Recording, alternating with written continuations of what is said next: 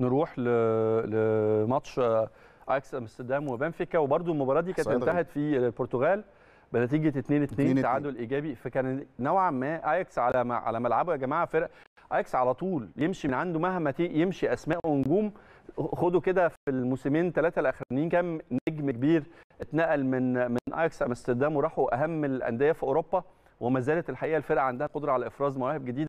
صعب قوي إنك تقبل إنه يخسر من بنفيكا كمان. يعني ممكن أقبل ده إنه يخسر مثلا من Man City على ملعبه يخسر من ليفربول على ملعبه يخسر من PSG على ملعبه لكن يخسر من بنفيكا على ملعبه وهو متعادل 2 2 كانت برضو واحدة من المفاجآت. نروح لأرقام يا فاروق.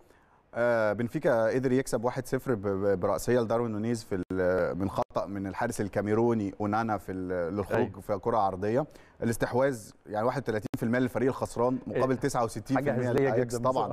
عدد التصويبات 16 تصويبة 16 آه. تصويبة منهم بس اثنين على المرمى ورغم كده الفريق اللي صوب تصويبة واحدة على المرمى قدر منها يسجل هدف. الهدف ال- الوحيد إنقاذ الحراس مفيش ولا إنقاذ للاياكس آه، إنقاذين لحارس بنفيكا نسبة التمريرات 84% مقابل 65% لو شفنا عدد التمريرات 596 تمريرة الاياكس مقابل 277 تمريرة ل- مرتين. ونص يعني. ضعفين يعني ونص؟ آه يعني تقريبا حوالي 60% من المباراة رايحة لل- للاياكس اياكس المراوغات آه، 48% نسبتها مقابل 33 العرضيات 11 آه، عرضية صحيحة بنسبة 29% الاياكس و57% لبنفيكا. والركنيات 10 ركنيات الاياكس ما قدروش يستغلوهم مقابل أربع ركنيات. ويمكن ال- الماتشات امبارح المدرب الاثنين مدربين اللي- ال- ال- أو ماتشات ال- الدور ثمن النهائي الاثنين مدربين اللي مرشحين لتدريب مانشستر يونايتد. سواء آه. ماوريسيو بوتشيتينو أو تين هاج خرجوا من ال- الاثنين bye bye آه يمكن سواء شوية لما خرج بوكيتينيو من من ريال مدريد آه، ضد ريال مدريد قالوا إن هو استبعد من تدريب مانشستر يونايتد بعد الإخفاق ال- الأخير لأن مانشستر يونايتد مش حمل يجيب مدرب آه، بيمر بإخفاق فقالوا تين هاج هو المدرب المرشح بص بص هقول لك حاجة لاحظ كده معايا ال- القصة في PSG مش قصة مدير فني يعني كان عندهم أوناي إيمري وفشل ومشي. ده الكلام اللي قلناه. الريمونتادا الريمونتادا بتاعت برشلونة لما خسروا بخمسة في فرنسا وراحوا كسبوا ستة في في برشلونة.